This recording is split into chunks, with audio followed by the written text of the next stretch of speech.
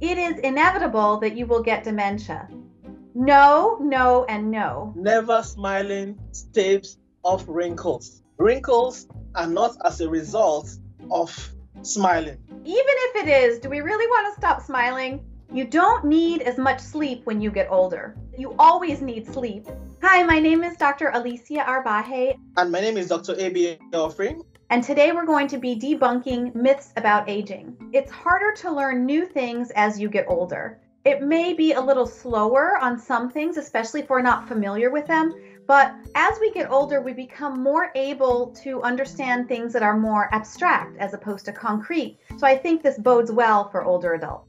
As uh, Dr. Arbaje said, I think it's just different.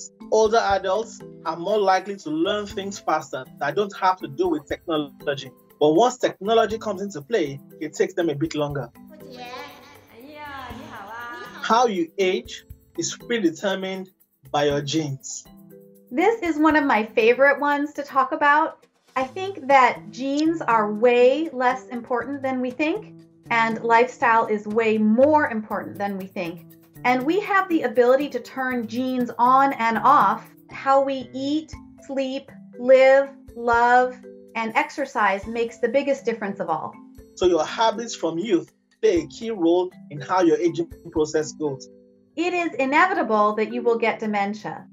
No, no, and no. Dementia is not a normal part of aging. And it's important to understand that if you're having memory problems or problems planning or being oriented or getting around, that is a sign that something needs to be checked out. Only a small percentage of older adults actually have dementia.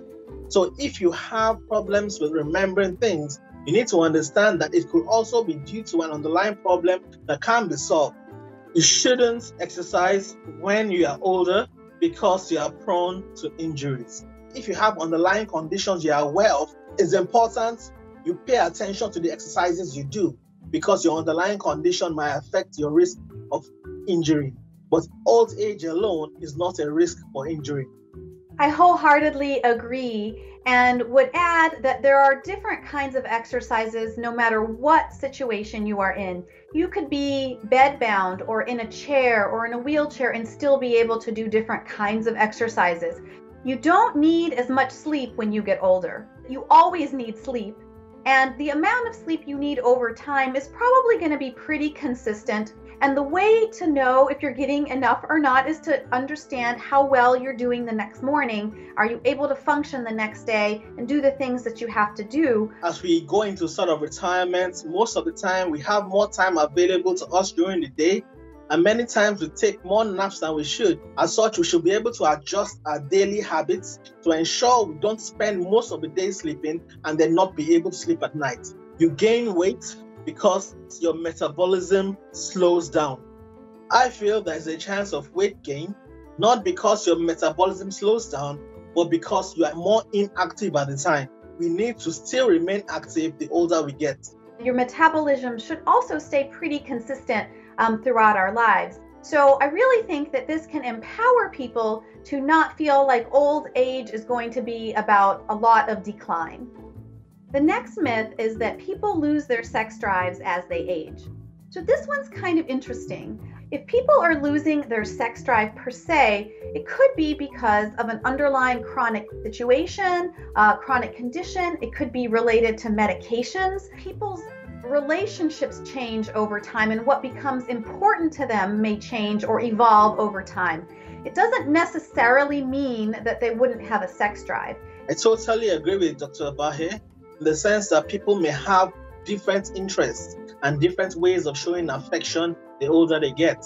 And again, there may be underlying conditions that may make sexual intercourse not as comfortable as it used to be. So, getting old makes you grouchy. We see how older people are depicted in cartoons and in movies, and often this is the stereotype I don't like this desk, and I don't like this chair, and I don't like holidays. Flippity floppity floopity frolidays. We realize that a majority of our patients are not grouchy, but they seem to be a bit sad because of the, you know, the nesting syndrome, being alone in the house, and things like that. But grouchiness is not a feature of old age. That is so well said. Grouchiness is not a feature of old age. I do think that depression is a lot higher in older adults, or it can be, and that can be because of underlying chronic conditions, life circumstance, and those are things that um, depression can manifest as irritability in older people, and that may be mistaken for grouchiness.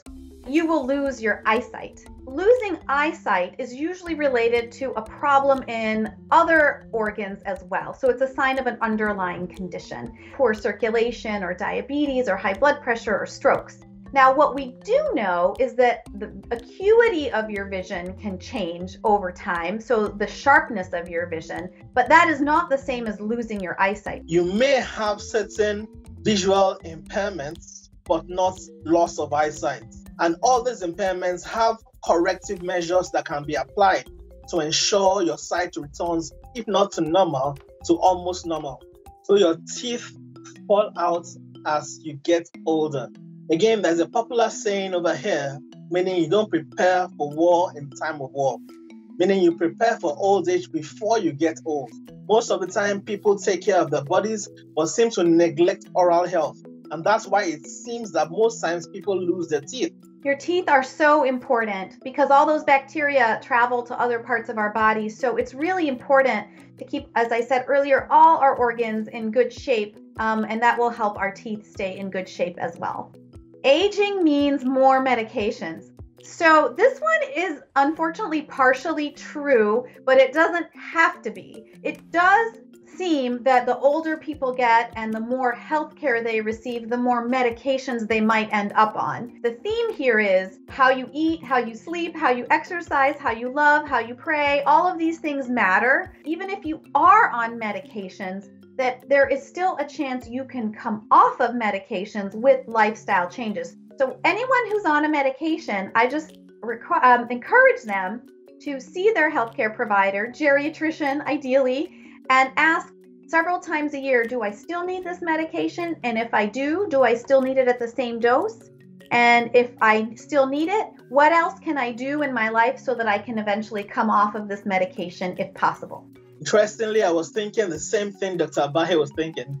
And so it's important to note that if you have a healthy lifestyle, you are less likely to require most of the medication many elderly people take at the moment because you have prevented the conditions that require them.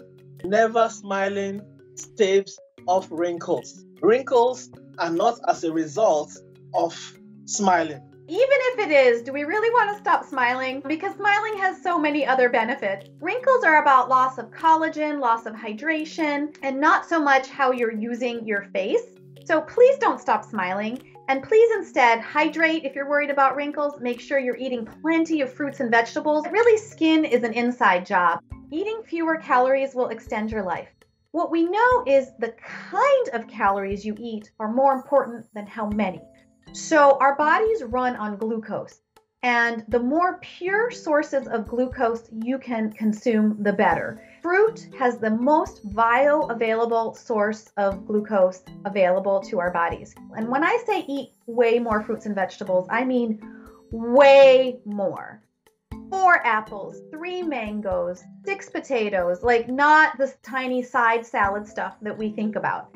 Make that the majority of your meal it is hard to get fresh produce all year round, depending on where you are, and it can be more expensive for some people. I am not saying that it's important to eat organic, although if you can, that's even better. But I don't want people to shun getting access to whatever kinds of fruit and vegetable they have. Preparation is the key to success. So, and so, your lifestyle, what you do, your habits you form before you get older go a long way to ensuring you have a healthier and longer life.